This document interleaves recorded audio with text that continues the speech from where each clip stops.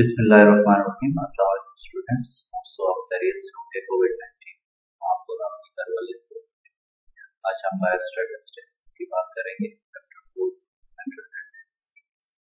chapter one two three हम already पढ़ चुके हैं। चैप्टर वन जब अपने कॉलेज में पढ़ा तो बायो स्टैटिस्टिक्स की डेफिनेशन है। इसको रिकैप में देख लेते हैं कि आपने पढ़ा बेसिकली बायो स्टैटिस्टिक्स फोकस करती है कलेक्शन ऑफ़ डेटा को। Their presentation of data, interpretation and analysis और फिर analysis के basis पे हम एंड करते हैं जब हम इंटरप्रिटेशन uh, की बात करते हैं तो उसमें बहुत सारी टेक्निक्स हैं। कॉमनली उसमें से एक जो क्वेश्चन है वो आज हम देखेंगे। इस लेक्चर में इससे पहले चैप्टर टू और थ्री जो है वो uh, जो है व्हाट्सएप ग्रुप्स में या डिफरेंट से मटेरियल शेयर किया गया, जिसे आपने नोट्स अंडरस्टैंड किया। चैप्टर टू में हमने जब चैप्टर वन में जब हमने स्टैटिस्टिक्स की ब्रांचेस की बात की थी तो उसमें हमने डिस्क्रिप्टिव स्टैटिस्टिक्स में एक बात पढ़ी थी कि हम डेटा की प्रॉपर्टीज़ को किस तरीके से एनालाइज कर सकते उसमें हमने देखा था कि there are different ways to analyse और इंटरप्रेट द डेटा तो central tendency is one of the जिसमें मोस्ट इम्पोर्टेंट है मीडियन और और ये जो सेंट्रलिटी ऑफ़ द डेटा को बताती है रिप्रेजेंट करती है वेरिएशन डेटा की स्टडीज़ वेरिएशन स्टडीज़ को देख सकते हैं by the help of range उसमें इंटरप्रोटाइल रेंज है वेरिएंस है स्टैंडर्ड डेविएशन है कोएफिशिएंट ऑफ़ वेरिएशन है. ये नेक्स्ट हमारा लेक्चर होगा इंशाल्लाह और फोकस जो होगा वो स्टैंडर्ड डेविएशन और वेरिएंस होगा चैप्टर थ्री में हमने ग्राफिकल रिप्रेजेंटेशन ऑफ़ डेटा में डिफरेंट डायग्राम्स के बारे में पढ़ा था। तो उसमें एक इम्पोर्टेंट था बॉक्स प्लॉट और skew diagram positive skew diagram negatively skew diagram skewness के बारे में हमने पढ़ा। तो बेसिकली हम जो है properties of data numerical data either from central tendencies या वेरिएशन या शेप की मदद से इसको स्टडी कर सकते हैं जब हम बात करते हैं सेंट्रल टेंडेंसी तो यूजली एक चीज़ हमारे माइंड में है एवरेजेस के ऑन बेसिस ऑफ़ एवरेज आप बात करते हैं। फॉर एग्जांपल आप किसी कॉलेज में एडमिशन के लिए जाते हैं, या इवन यूनिवर्सिटी में तो कॉमनली आपसे अगर आपकी कोई मार्क्स पूछते हैं तो आप डायरेक्टली बताते हैं कि आपके सिक्सटी परसेंट सेवेंटी परसेंट या एटी परसेंट मार्क्स एवरेज आप बताते हैं। आप इंडिविजुअली सब्जेक्ट वाइज एक्सप्लेनेशन देते कि मेरे बायोलॉजी में केमिस्ट्री में या बी एस फ़र्स्ट सेमेस्टर में कितना जी पी एफ़ टू से overall C G P A कितना तो ये this this is an idea जो कंसंट्रेशन जो है वैल्यूज़ की सेंट्रल पार्ट पे डिस्ट्रीब्यूशन को बताता है। कितने कंसंट्रेटेड वैल्यूज़ हैं आपकी सेंट्रल पार्ट बेसिकली जब हम बात करते हैं एवरेज की तो एवरेज को दो ब्रॉडर कैटेगरीज में डिवाइड किया जा सकता है। एक पोजिशनल जो है एवरेज है और दूसरा मैथमेटिकल एवरेज जब हम पोजिशनल एवरेज की बात करते हैं पोजिशनल एवरेज में मीडियन और मॉड शामिल है। On the basis of position जो हमें बताते हैं। और मैथमेटिकल एवरेज की जब आप बात करते हैं तो उसमें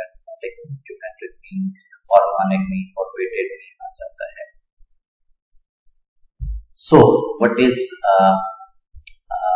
central tendency या कैसे उसे क्लियर करेंगे तो it's represent a typical central entry of the data set यानी कि सेंट्रल एंट्री डेटा सेट्स की और इसकी जो तीन कॉमन मीन्स हैं और मैयत वो है मीन मीडियन अब हम वन बाय वन इनको देखते हैं मीन क्या है मीडियन क्या है और मीडियन बेसिकली मिडल वैल्यू है, जो डेटा सेट्स को टू इक्वलेंट पार्ट्स में अप्रोक्सीमेटली डिवाइड कर देती है। Of the values data set के मिडल पॉइंट पॉइंट से अबव होंगी और ऑफ़ द वैल्यू पॉइंट से बिलो होंगी। मीन बेसिकली एवरेज है you can sum of all the values तमाम वैल्यूज़ को सम अप करते हैं और फिर टोटल नंबर से डिवाइड करते हैं। और मोर जो है वो most commonly offering values means के फ्रीक्वेंटली रिपीटेड वैल्यूज़ होंगी डेटा सेट में। ज़्यादा जो सबसे वैल्यूज़ एक डेटा सेट में आए, उन्हें हम मॉड कहेंगे। चैप्टर फोर को अंडरस्टैंड करने के लिए, या में कुछ सिंबल्स की अंडरस्टैंडिंग बहुत ज़रूरी है। सो फ़र्स्ट सिंबल जिसे आप गो थ्रू करेंगे डिफरेंट फॉर्मुलेशन में that is sigma sign letter sigma this is upper case Greek letter और ये इंडिकेट करता है sum of all values summation of values x represent करता है वेरिएबल्स को you can store the values you can represent different values that particular variable और ये quantitative data की रिप्रेजेंटेशन के लिए यूज़ किया जाता है। एन इज़ द नंबर जो नंबर ऑफ़ एंट्रीज हैं इन द पॉपुलेशन उसको रिप्रेजेंट करता है। And small N is the number of entries in the sample mu is lower case greek letter and is a population param uh, parameter और it, it is used for population mean mu जो है population mean लिए parameter use होता है and x bar is the uh, is used for simple mean और ये दोनों exam point of view से इंपॉर्टेंट है एमसीक्यूज पूछे जा सकते हैं आपसे कि पॉपुलेशन मीन का कौन सा सिंबल है जो कि यूज़ किया जाता है और सिंपल मीन का कौन सा पैरामीटर यूज़ किया जाता है इस तरीके से डिफरेंट सिंबल्स हैं या टर्म्स हैं जिनको आपने अपने एग्ज़ाम के लिए भी प्रिपेयर करना है डिटेल नोट्स में आपको इंफॉर्मेशन प्रोवाइड की गई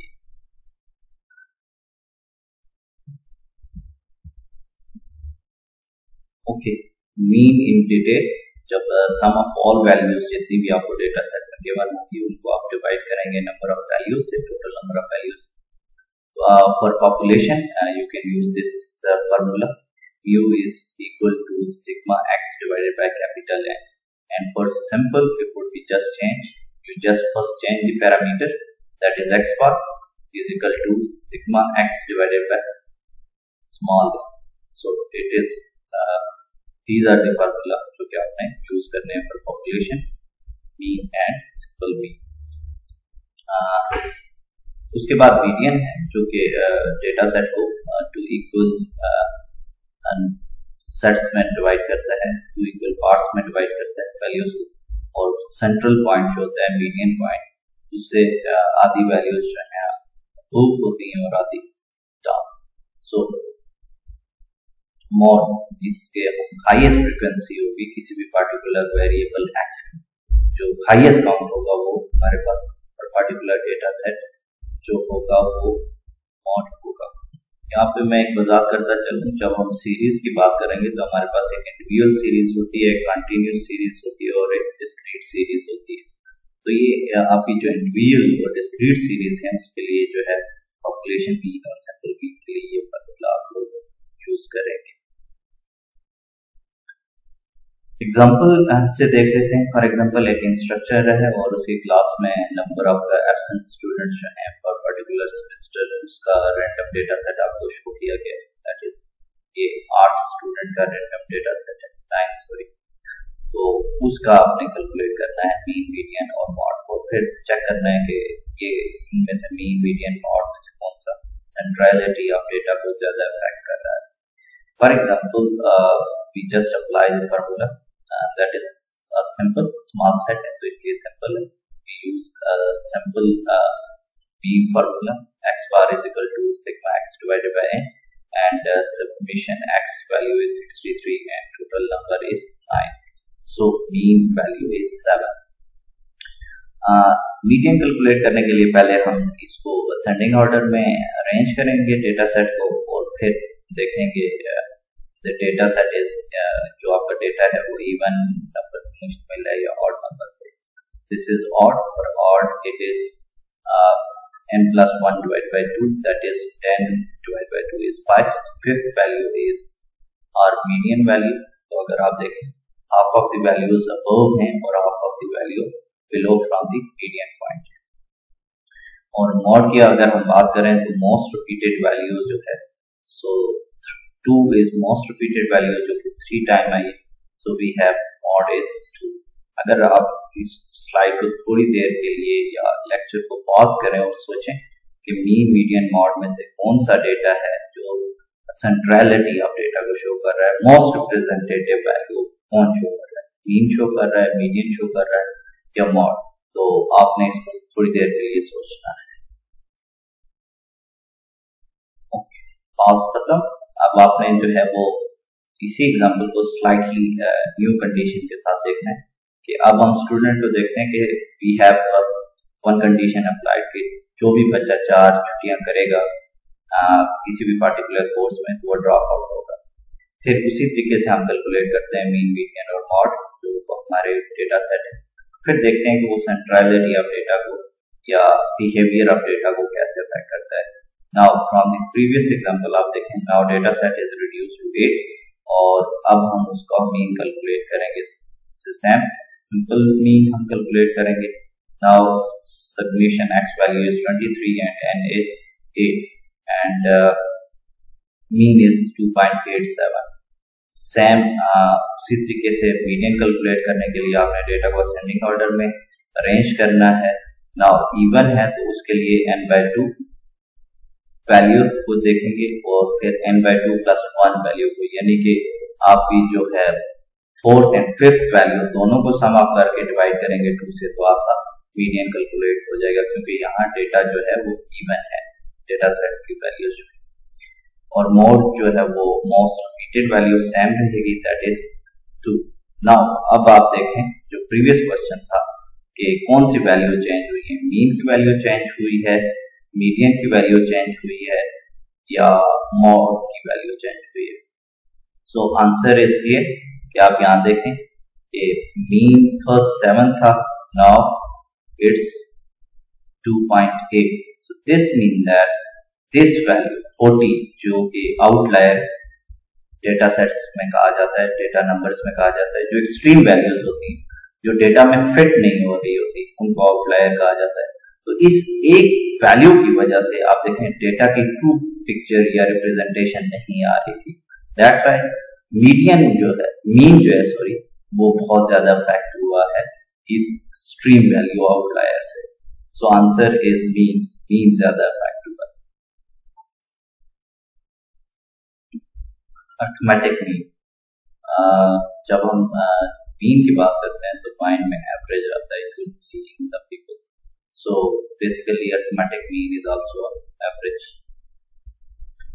Uh, ये बैलेंस पॉइंट बताता है distribution of observation different values जो है डेटा सेट की उसके लिए कंप्यूट कैसे करेंगे? आपने जितनी भी ऑब्जर्वेशन है uh, उन सबको एडअप कर देना है और फिर सम से जो जितनी डेटा वैल्यूज़ होंगी उससे आपने उसको डिवाइड करना है। Simple arithmetic mean can be computed computed using this using this formula uh, submission uh, I started with 1 the first value that is x1 ठीक है? Uh, x2 and so on up to uh, x and last value तक including it आपने last value को भी include करना इन तमाम values को समाप्त कर देना और फिर उसको टोटल नंबर से जो सिंपल का टोटल काउंट होगा उससे डिवाइड करना है। Is simple mean in the statistics you can calculate by using this formula. This is the formula you have to remember for the exam and uh, x bar uh, is the parameter for simple mean and uh, you can calculate uh, simple mean by using this formula. Simple sum पहले भी देख चुके हैं आपने किस तरीके से compute करना है सबसे पहले तमाम वैल्यूज़ को सम अप कर देना है और फिर टोटल नंबर से आपने उसको डिवाइड करना है एग्जांपल देख लेते हैं कि हमारे पास सात ऑब्जर्वेशन हैं data set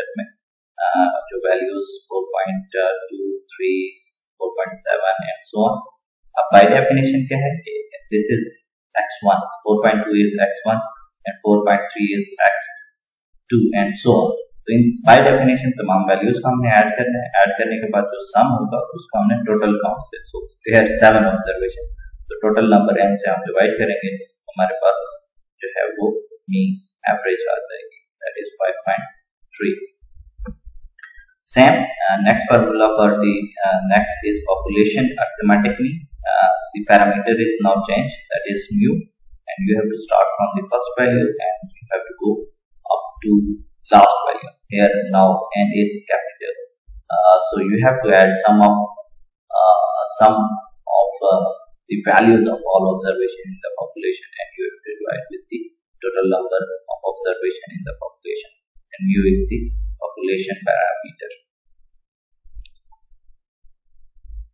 Weighted mean ये स्लाइटली डिफरेंट है आपका सिंपल मीन से या पॉपुलेशन मीन से weighted word itself indicate कर रहा है कि हर एक कैटेगरी को कोई स्पेसिफिक वेट असाइन किया जाएगा। फॉर एग्जांपल एक्स वन के लिए वेट डब्ल्यू वन है एक्स टू के लिए डब्ल्यू टू वेट है so on so corresponding weights होंगे और फिर उन सबको हम इस फार्मूला की मदद से कंप्यूट करेंगे। That is x bar is equal to sigma x into W and फिर सबको हमने होल को डिवाइड करना है। सिग्मा डब्ल्यू से। That is the total weight जो होगा उससे हमने डिवाइड करना है। इसको हम अंडरस्टैंड करने की कोशिश करते हैं। फॉर एग्ज़ाम्पल हम देखते हैं कि आपका कोई पर्टिकुलर कोर्स है और उसका कोई क्रेडिट आ रहा है थ्री क्रेडिट आर के कोर्सेज होते हैं। फोर क्रेडिट आर के टू क्रेडिट आर के। और फिर हर एक कोर्स में आपको कोई एक वेट असाइन कर दिया जाता है। कोई एक ग्रेड असाइन कर दिया जाता है। A B and C for example आपके पास फोर कैरेट आता है कोर्स है और उसमें आपका ए ग्रेड है। तो this mean that four credit का वो कोर्स और ए ग्रेड आपके जीपीए की कैलकुलेशन जो है वेटेड क्योंकि जीपीए वेटेड कैलकुलेशन है, जो आप हर सेमेस्टर में कैलकुलेट करते हैं तो ज़्यादा फ़ायदा करता है।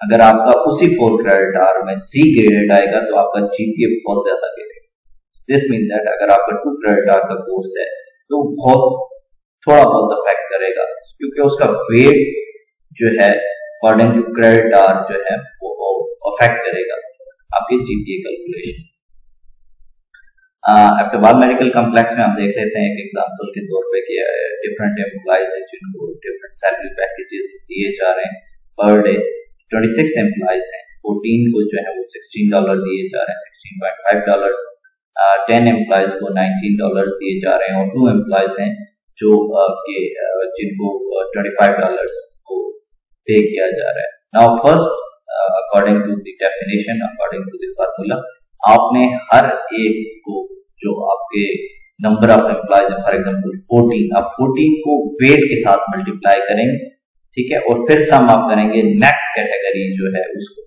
Next category is ten dollars और टेन डॉलर्स टेन एम्प्लॉयज़ हैं और उनको नाइनटीन डॉलर्स पे किए जा रहे हैं। नेक्स्ट आपके टू एम्प्लॉयज़ हैं जो हैवीली पेड हैं सिक्स ट्वेंटी सिक्स डॉलर उनको पे किए जा रहे हैं। और फिर तमाम वेट को आपने सम अप करके डिवाइड कर देना है।